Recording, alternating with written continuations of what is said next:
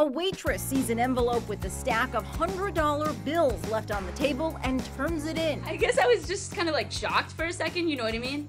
And that they could even that they would even forget it there. 24-year-old Kaylie Cyr was working at a Buffalo Wild Wings in Portland, Maine at the time and knew the wad of cash, $1,700 to be exact, wasn't her tip. They had already left me like a really a good tip. So that's why I knew that it wasn't one of those like crazy tips that you hear people getting, you know what I mean? So she gave it to her manager who locked it in a safe for the night.